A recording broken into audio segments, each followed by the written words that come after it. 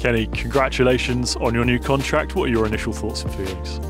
Um, obviously very delighted to, to be securing my, my future for quite a long time here. I've been here been here five years now, this is my sixth, so to be extending that a lot further is um, something that you know I'm very happy to be doing and, and thank for the club want to do as well. What is it about this place, this club, that's led you to commit your long-term future? Um, you know, initially when I came here, I settled in very quickly. That seems a long time ago now. Um, a lot's happened since I've been here. A lot of ups and downs on the pitch, plenty happening off the pitch. Um, expect my second baby any minute now, so another another little Norwich baby. So every, everything off the pitch is very good, which helps on the pitch. You know, I've had plenty of success that I want to be involved in going forward, and I think there's there's many more memories to come.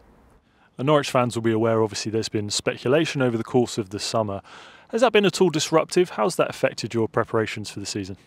No, I don't think it's been disruptive. I hope it's not showed in, in any of my performances. But I think, you know, me sitting here now, signing a new contract shows where, where I'm at and shows where the club's at. And I think we, we know that there's still plenty more out there for us to go and get.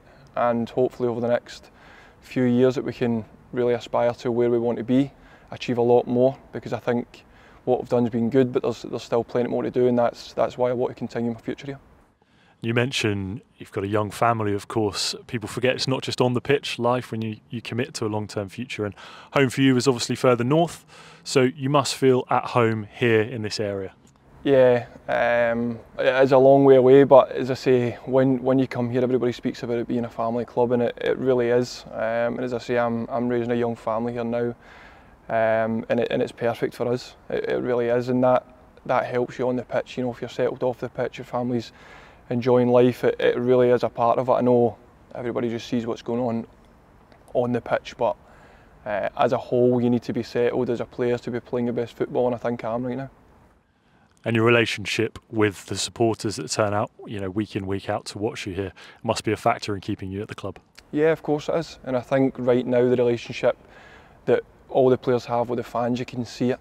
Um, I think we've started this season, you know, decent enough. There's still plenty more to come. We're still improving.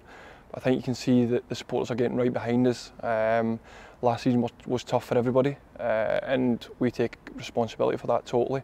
But this season we've really got them on side, and it's down to us how, how they are. You know, if we're performing, giving everything, then they're going to react to that, and that's what they're doing right now yeah, it really has been a positive start to the season. What do you think the driving force, the factors that have led to that positive start are? I think a, a great pre-season behind us with the manager. Um, you know, everybody's buying into what he wants to do. Some new faces in the door that are helping us massively. Uh, the way the way we finished the season last season, I think the signings have really really gave us a lift, and you know, we've obviously it's been spoke about bringing all the experience in, but I think that's what we needed.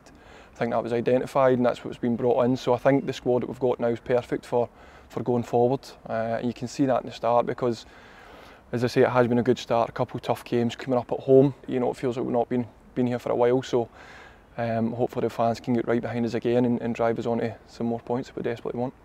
And over the course of the summer, when obviously there's interest from outside, what conversations have you had with the manager, with his coaching team, um, about why they wanted you to remain a Norwich City player? I don't. I don't think it's been it's been too heavy with the conversations because, it, as I say, within within the place, it's not been disruptive at all. You know, it's it's been business as usual.